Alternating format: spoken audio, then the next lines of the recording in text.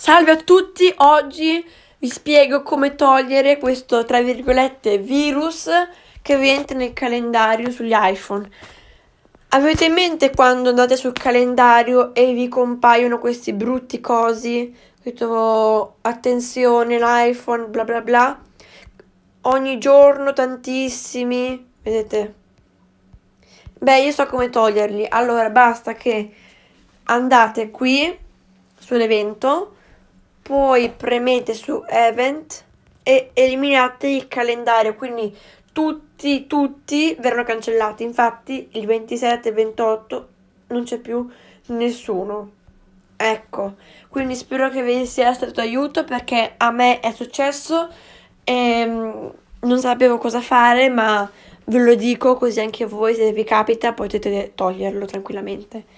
Ecco, era un video corto e vi ringrazio per il supporto e ci vediamo in un prossimo video. Ciao ciao!